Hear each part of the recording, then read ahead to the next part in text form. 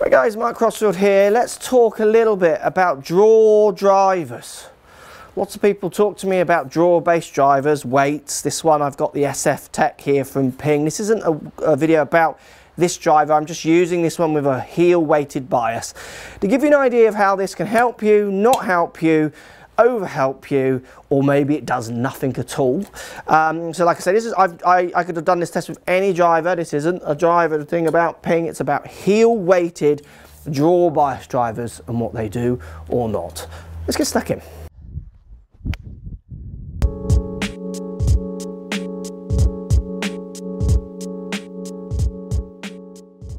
Right guys, I explained to you what I've done. I've collected some data already using GC2HMT and some real balls, which I can't do in our range because of the lengths. I've done it up in the indoor section. Um, and what I did is I hit three shots using this SF Tec. Now this FX Tech, SF Tec ping driver has weight in the heel, which in theory, as you hit the ball, is going to help the club maybe increase the way it closes. So increase the way the club face is turning through the ball to maybe getting pulling a bit more left. Not left of target per se, because that isn't going to work for it in a draw. That's going to still cut the ball or pull it. But get it maybe a bit more left of where you delivered it to stop the ball maybe going so far to the right. So lots of people are buying or thinking about or do use heel based, draw based drivers, any manufacturer, to try and maybe promote a draw or to calm down how far right a ball goes. Um, so I hit three shots just with my standard swing, trying to hit a normal target, ignoring the weight of the club and just hitting the ball.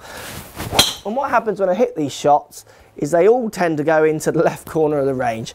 That club is definitely for me delivered more left of where it is if I don't have that heel base club.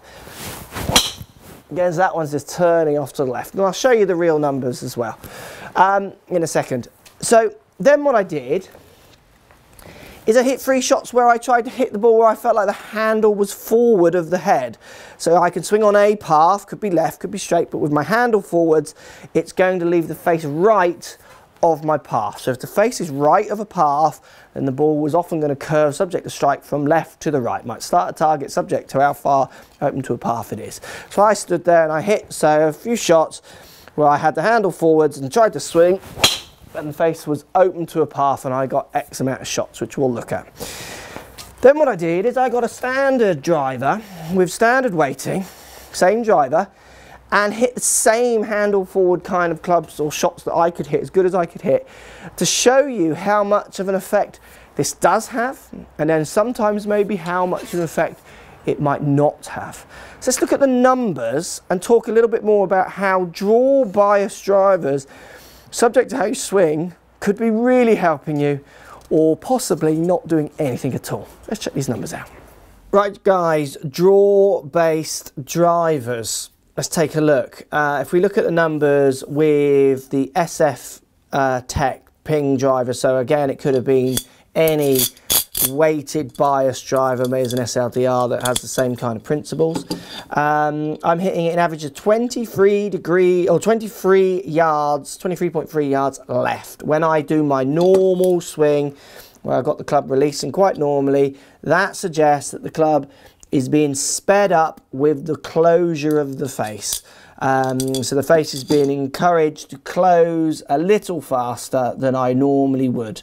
Um, it's also possibly a little bit of gearing as well. So with the weight in the heel, me hitting middle to slightly toe, uh, it's going to maybe gear a little bit more into on the club face as I the balls uh, CG and the head CG try to kind of marry a little bit uh, impact, which might tilt that spin axis as well. So then SF Tec 2, this is now me hitting with my hands forward. Um, you can see I'm averaging 28 yards right. Um, I'm swinging uh, 3.5 to the left, so out to in as you would know, and I've got the face six open to a path, to average, um, where's my data there? On flight 26 was it I think I said? Yeah 20, no, 28 yards right of the target. Ball curving left to right in the air. So that heel weight there is being counteracted by the fact that my handle is forwards.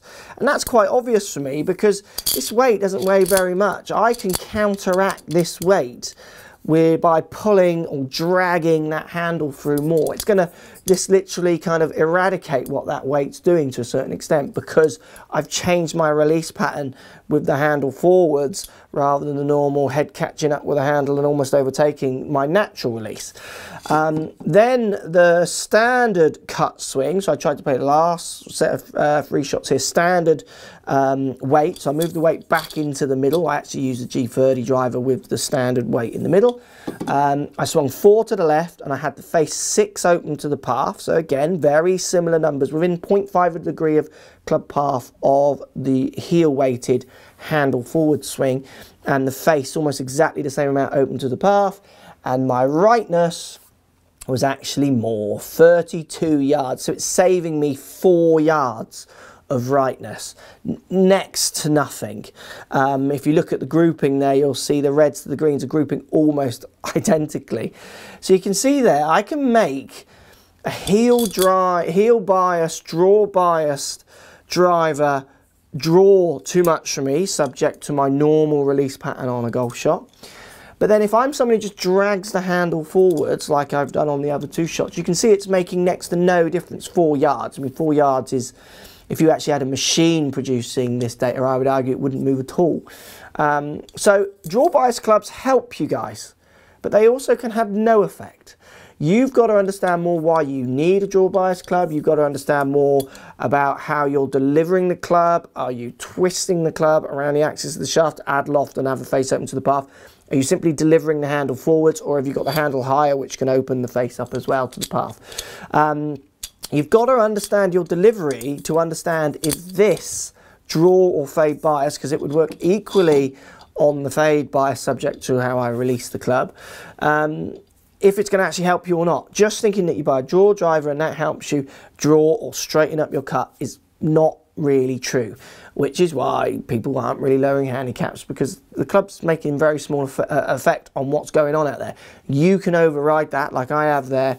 Very, very simple because the forces you're putting down through that shaft are far going to outweigh any weight that they put in the head. Obviously, they could put enough weight in it to help, but then the club probably wouldn't conform and would be hard to swing because uh, you certainly need a certain amount of club head speed if you want to get distance as well. Interesting video there, guys. Post comments down below. Hopefully that makes sense. Basically, I'm saying they do work, but they also do not. Most people I see for lessons deliver the handle way forwards, which has the face open to a path, and you could put any amount of weight in the heel of their club, and it's not really going to do that much for them.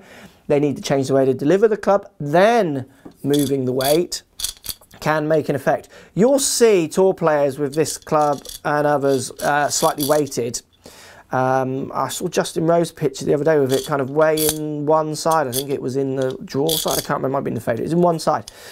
When you've got someone who's releasing the club in a certain way and quite consistently, you could manipulate that a little bit with uh, where that weight goes. That's the people it's really going to help. If I'm delivering the handle so far forwards and really dragging it through with force, that weight's going to do next to nothing. Thanks for watching. Post comments down below. Love to hear what you've got to say. Always interesting to hear your thoughts on such subjects. Have you got a draw driver and it's transformed your game or not? I'd love to hear. Speak to you soon. So if you like what's going on here, don't be afraid to subscribe to the channel. Also thumbs up the video, post comments. Love to hear what you guys got to say. Let's keep it social. The more we talk, the more we share, the easier this game will get for, uh, for everybody. So if you want to find me on Facebook here, you can find me on Facebook. If you want to tweet me, find me on Twitter here as well. Just follow the links, all in the description. Come and join the show. Get active, get involved, get playing some better golf. Thanks for watching.